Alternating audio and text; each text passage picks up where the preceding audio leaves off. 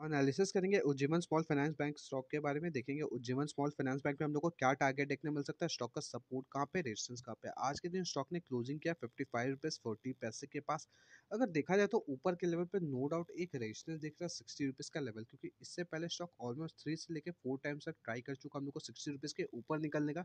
लेकिन हर time stock ने हम लोग को नीचे की तरफ़ गिरावट दिखाया जो कि थोड़ा सा नेगेटिविटी शो कर रहा है। तो जब तक स्टॉक फिफ्टी रुपीज़ के ऊपर ट्रेड कर रहा है, कोई दिक्कत की बात नहीं, लेकिन स्टॉक को ऊपर की तरफ़ मोमेंटम के लिए एटलीस्ट सिक्सटी रुपीज़ का एक ब्रेकआउट का ज़रूरत है। तो कोई फ्रेश बैंक करना चाहता है तो उज्जीवन फाइनेंस बैंक में आइधर फिफ्टी फाइव रुपीज़ के पास बाइक करे या फिर सिक्सटी रुपीज़ का ब्रेकआउट का वेट करे, क्योंकि मोमेंटम लोग को सिक्सटी रुपीज़ के ऊपर मिलने वाला है और किसी ने पहले से बाइक कर रखा है, वो सब होल्ड करके रखेंगे स्टॉप लॉस लगाएँगे फिफ्टी रुपीज़ के पास, क्योंकि स्टॉक फिफ्टी रुपीज़ के नीचे निकलते ही नेगेटिव हो जाएगा और नीचे की तरफ़ अराउंड फोर्टी से लेके इवन थर्टी रुपीज़ तक का भी फॉल दिखा सकता है, जो कि एक बड़ा गिरावट होता है। तो ऊपर की तरफ़ जब भी सिक्सटी रुपीज़ के ब्रेकआउट ऊपर की तरफ़ देखने मिलेगा, स्टॉक में शॉर्ट टर्म सबसे टारगेट देखने मिल सकता है, जो कि अराउंड एटी से लेके हंड्रेड रुपीज़ तक का और इवन लॉन्ग टर्म स्टॉक हम लोग को वन फिफ्टी रुपीज़ तक का भी टारगेट दिखा सकता है। तब तक के लिए इतना इस वीडियो में। वीडियो अच्छा है तो वीडियो को लाइक करें और चैनल को सब्सक्राइब करें।